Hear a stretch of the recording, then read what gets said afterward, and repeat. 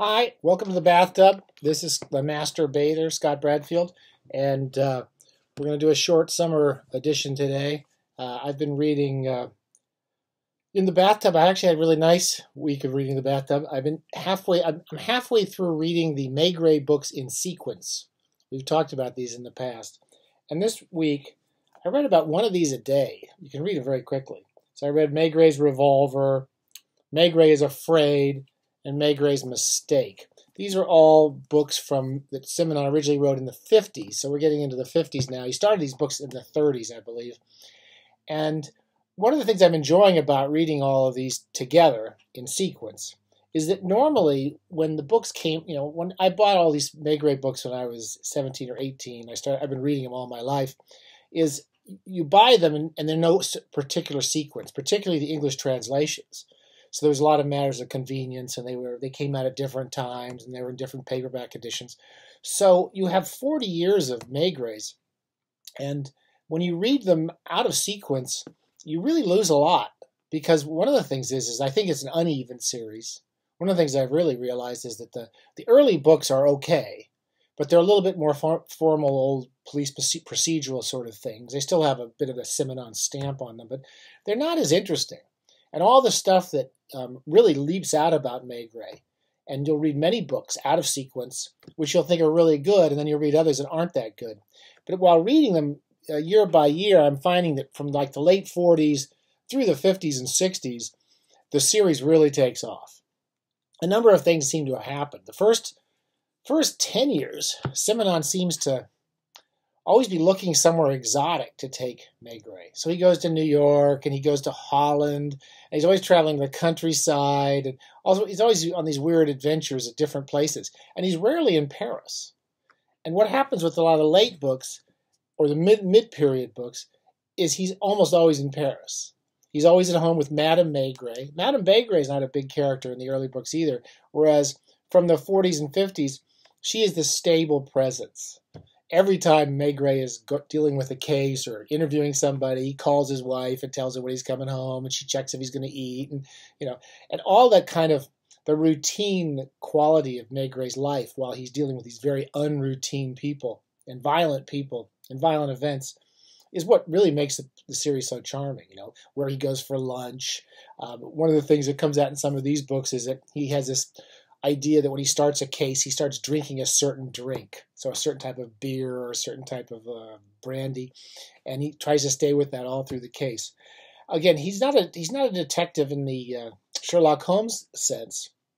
He doesn't uh, he doesn't read clues or anything. Uh, he in the early books he does a little bit more Sherlock Holmes investigations, but in the middle to late books, almost none of that is occurring. There's lots of coincidences and very often the the resolution of the case comes from Maigret simply meeting people and and and trying to understand their relationships to one another, and that is the real real fun part of the books. Um, I thought I'd take you through through these three, which I enjoyed. I think these are the three of the best ones I've read in a long time, and I've read them before. All of these books, I think I've read at another time. Uh, Revolver is a very good little example. It's a really lovely little book, and it's it starts off with. Um, Madame Maigret calling her husband at work saying some young boy was here and um, he, he, was looking for it. He looked really upset. And Madame Maigret, this sort of he, this young man, he's like 17, 18, uh, brings out some sort of concern in Madame Maigret. And Maigret goes home and he finds out that uh, not only has this young man come and gone, he's stolen a pistol that Maigret had in the house. Think he bought it for protect. He bought it for his wife or something. He got it on on some trip. Someone gave it to him as a gift. I can't remember now. But the gun's gone. And then, quite coincidentally, he meets another person who's been trying to talk to him, who turns out to be the boy's father. Now, the rest of the story is basically about Maigret concerned about this young man who thinks he's afraid the kid's going to go kill somebody. The father gets involved in a murder. And there's a there is a little murder that, that occurs and a solution to the murder in the background. But the entire story is about Maigret going to find this young man and get the gun back and make sure he doesn't do something that he'll regret later. And it's uh, just basically how he finds him in London. And the, the real culminating scene is just him and this young man having dinner together. and him trying to help this kid through this this problem patch. And it comes out in this book and in a couple of the other books that uh, the Maigrets are childless, and it comes out in this book and in another one that may grant this is this period of his life uh, he he wishes he had a child. He wished he'd had a son, and it's it's a really lovely little book. It has a, it has a real nice closing to it, and then when the murder's solved, it's almost all in the background. You know, it's not the interesting part, but it's about fathers and children and, and parents and children. And in the course of the book, you also have this young man. There's a nice balance to it because Simenon has a really good sense of balance. He's he's not a plotter, but he really gets a sense of balance in his books. So he has Maigret's interest in this young man, and the young man is actually at a pursuit trying to do something to help his father. And his father is kind of a hopeless mess. And this young man is getting into such a trouble because he's trying to help his father. It's a lovely little book. Um, another one I really like, Gray is Afraid. I think all of these I read almost in a day. You can read them in a few sittings. They're so quick. And it's another one where he goes off to it. He goes to another town sees an old friend. And in the course of being there, he gets involved in a what looks like a series of of random murders. And in the in the course of it, he meets a man. I think his name is Monsieur Monsieur Vernoux, um, uh, Alain Vernoux, Vernoux, uh, and he and he's a he's a he went to school to he was from a well off family and he went to school to become a psychiatric doctor or something, and then he basically never worked because he didn't have to. He came from this horrible kind of family, and it's really about the kind of claustrophobia of these little villages, and this man who's Maigret meets, who seems quite lost, and who uh, is involved is is involved with the with a series of relationships in which somebody's been murdered. Two two or three people have been murdered, but what happens in the course of it is that this kind of lost soul, and Maigret's really basically the you know the harvester of lost souls. He goes out and finds these these people and tries to, to get to know them. In the course of uh, talking to them, he finds out that this man has had a relationship with basically kind of a town, you know, some woman in, the, in town has been sleeping with all sorts of guys, and she's not a, a particular catch or anything. But uh, this Vernoux that comes from this well-off family just develops his passionate feeling for her. And in the course of it, he dies. I won't tell why. And Maigret goes to this man's house, finds him dead, and then finds all these letters that he's written to this woman, who's basically kind of a low class girl in town, prost- prostitute often. And uh, there's a, this pile of letters in which he's just poured out his soul. And there's a great little scene late in the book when Maigret comes there, and, and all the people in town come into this room and there's people wandering around, and they start picking up these letters.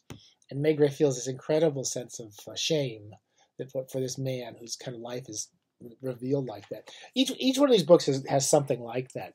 Um, finally, Maigret's mistake. Again, I recommend all of these. You don't have to read his books in sequence, but I would certainly look.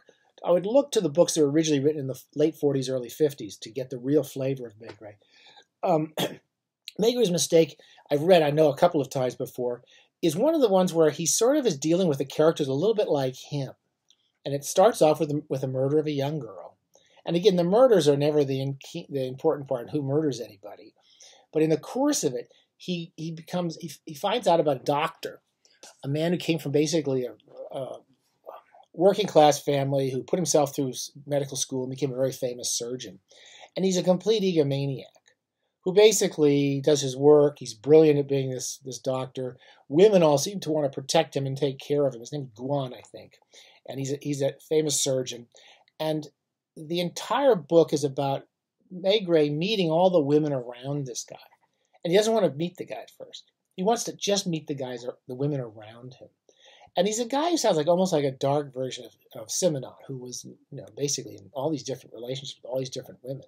And this doctor, who Simenon treats pretty coldly, as a, as a very cold person, is uh, as in the background and who seems to care couldn't care less about any of these women who care so much for him. And in the course of the, the interviews, it's basically just a series of interviews, like many Maigret books, in which Maigret gets to know the women around this man. And then at the culminating scene, he just sits down and talks to this guy who really this could care less about anybody. He's a really interesting character particularly through Maigret's eyes, who tends to care a little bit too much. And that's the kind of the Maigret charm. So these are the books. I'm, I'm really enjoying reading through these in sequence. I, I particularly am enjoying uh, finding out why you know, they seem so uneven to me. There's there's definitely a, a, shift in the in the books. In fact, in the in the 40s, uh, Maigret, like like the Reichenbach Falls, you remember Arthur Conan Doyle tried to kill off Sherlock Holmes. He tries to retire Simenon in the in the 40s, I believe, and he actually retires, and then basically he just says, "Okay, he's out of retirement, he's back to work," and he keeps keeps his age. I think Maigret's in his 50s for like about four decades, so he's always in this guy late late career character. Um, with a with a long, long, stable relationship with his wife, who deals with very unstable people. Uh, they're they're really charming books. Okay, very different from the thrillers as we've talked about. All right, we'll see you soon and uh, talk to you next week. Keep bathing. Oh, and also there's so I'm putting up announcements on Ultimate Beginners. I'll put one here. We're going to do uh, we do a couple of writing workshops online uh, every uh, every so often. We're going to have one starting in, in the beginning of September. The prices are very reasonable compared to what you get. I think it's a good deal, and there's great students. We have a lot of great returning students. So we'd love to get some new students. That's the thing. So if you could, if you see any of these notices I send around, please pass them on anywhere you can, and think about coming to the class. I think you might enjoy it. We do some reading and we do some writing. All right. Bye.